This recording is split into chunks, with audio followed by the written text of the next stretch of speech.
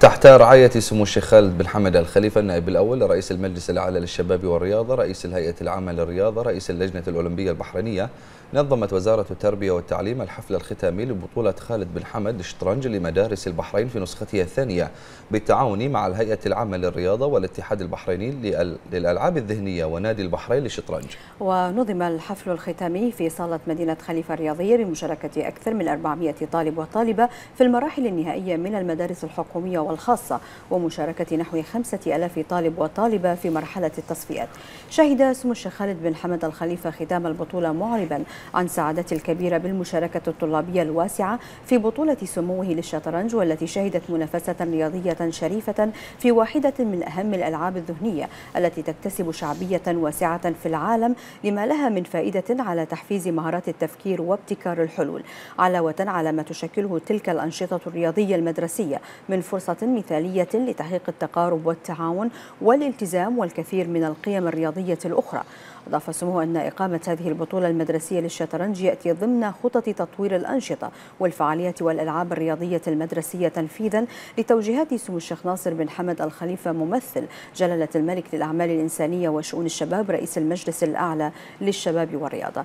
أكد سمو الشيخ خالد بن حمد الخليفة على أهمية الألعاب التي تعزز القدرات الذهنية للطلبة وتخلق لهم أجواء من المتعة والتسلية في آن واحد خصوصا وأن لعبة الشطرنج تعتبر من الألعاب التي التي تعتمد على الذكاء وتنمي مهارات حل المشكلات وتسهم في فتح مدارك وقدرات الطلبة العقلية.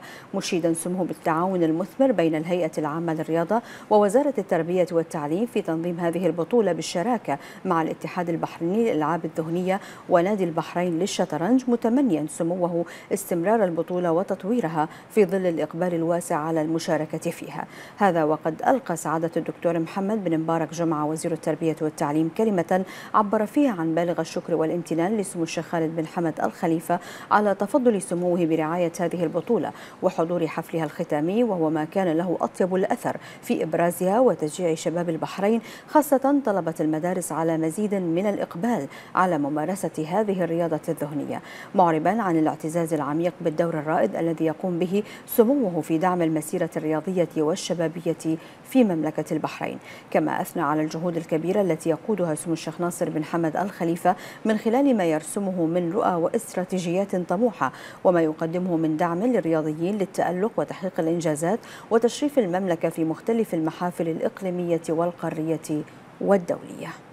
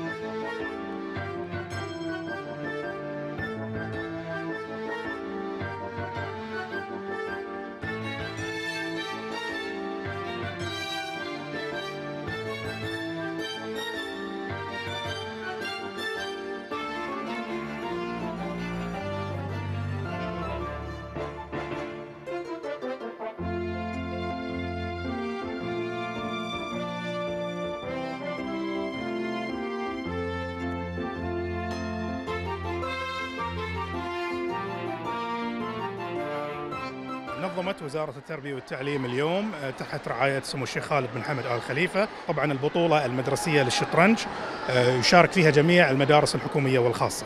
وطبعا هذا تنفيذا لتوجيهات سموه في هذا الجانب. آه، رياضة الشطرنج هي رياضة ذهنية مهمة جدا.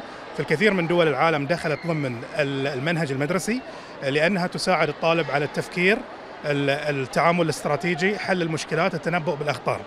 طبعا هذه هي النسخة الثانية من البطولة. إن شاء الله سيتم ترتيبها أيضا للفصل الدراسي الثاني وبإشراك أكبر عدد ممكن من الطلبة حتى يتم تأهيل أكبر عدد ممكن من الطلبة البحرينيين للمشاركة في المحافل الإقليمية والدولية في هذه اللعبة. وإن شاء الله سوف تستمر وزارة التربية والتعليم من خلال شراكتها مع الجهات الحكومية الأخرى وأيضا نادي الشطرنج والاتحاد البحريني للرياضات الذهنية في تنظيم هذه البطولة دعما للطلبة وفي نفس الوقت استمرارا في تنفيذ أفضل الممارسات الدولية في الأنشطة الطلابية. أنا اليوم فزت المركز الأول وشعوري وايد حلو واستفدت آه، وايد لأن لعبت مع ضد طلاب من مدارس كثيرة وكان شعوري وايد حلو وأتمنى أنه يكون بطولات وايد في البحرين. وأنا أفتخر أني طلعت مركز الثالث بفضل الله ثم فضل الوالدين ودعائهم وإن شاء الله المرة الجاية أطلع المركز الأول وأنا ابن البحرين ونشكر الشيخ خالد بن حمد آل خليفة على هذه البطولة الرائعة. اليوم حاضر في بطولة الشطرنج واليوم والله الصراحة تعرفت على اللعبة أزيد